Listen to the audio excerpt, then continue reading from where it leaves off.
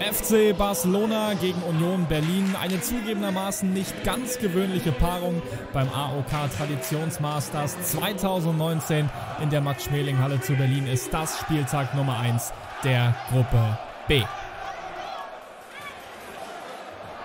Union in Rot und Weiß kam etwas schneller aus den Startblöcken. Das ist Karim Benjamina. Über die linke Seite scheitert knapp an Javi Guzman. Der erste Nadelstich der Partie gehört Union. Doch dann wagen sich auch die Katalanen in die Offensive. Jofre Mateo hier von der linken Seite knapp am Tor vorbei. Achtung, jetzt wird's kurios. Im Schatten der Kamera ist auf einmal Matuschka komplett frei und macht den rein. 0-1 Union. Thorsten Matuschka, der Torschütze für Union Berlin, bestritt er 281 Pflichtspiele, schoss dabei 61 Tore. Nur eine Minute später anschnallen für einen richtig guten Angriff. Thorsten Matuschka mit dem Doppelpass auf Halil Safran. 2-0 Union. Fünfte Spielminute. Was für ein Angriff, als wären sie nie weg gewesen. Halil Safran, der Torschütze von 2010 bis 2012, er aktiv bei den Köpenicker. Wie verdaut Barca jetzt diesen Doppelschlag? Die Antwort lautet Flucht nach vorn. Sergio Martinez schickt den knapp drüber. 2-0 Union also zur Pause. Beide Mannschaften bekommen es in ihrer Gruppe ja noch mit Hertha und dem Karlsruher SC zu tun.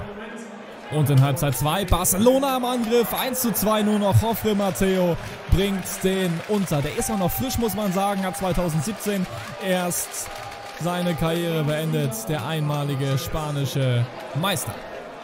Und jetzt nimmt diese Begegnung erst richtig Fahrt auf. Indirekter Freistoß, Persig auf Halil Safran und der macht sein Doppelpack. Der nächste Superangriff. Vorlage kam von Tom Persig, Unionsrekordspieler mit 305 Einsätzen.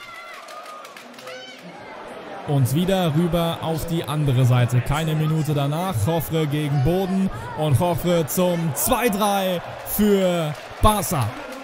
Auch er holt sich den Doppelpack. Ein klasse Tor. Bittet hier Boden zum Tanz und befördert den unnachahmlich ins Gehäuse.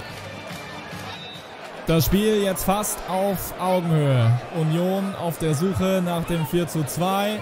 Sven Kaiser nimmt sich Zeit, hat auch Platz. Hier fehlt so ein wenig das Glück. Trotzdem nochmal die Unioner Kombination. Doppelpass über die linke Seite.